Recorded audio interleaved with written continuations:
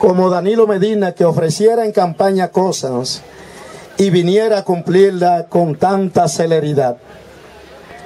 Pero tampoco nunca antes había visto un ministro de ninguna índole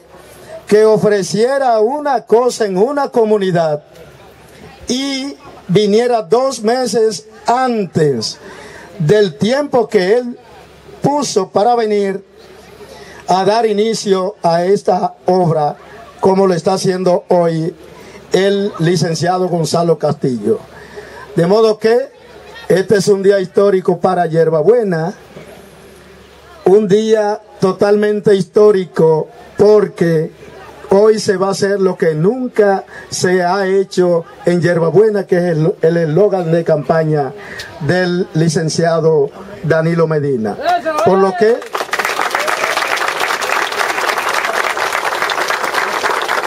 con la construcción de este puente hay motivo de sobra para todos y nosotros y nosotras para dar la más calurosa de las